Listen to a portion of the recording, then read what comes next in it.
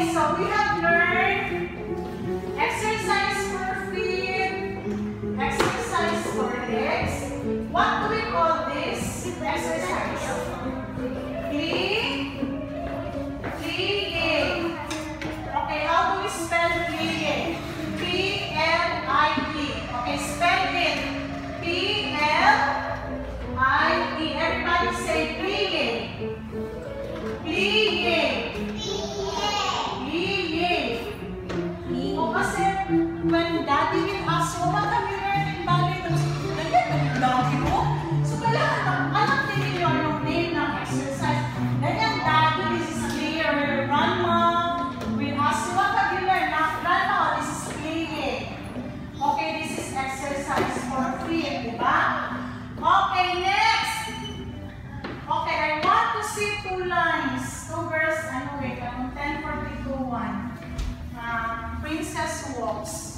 Thank You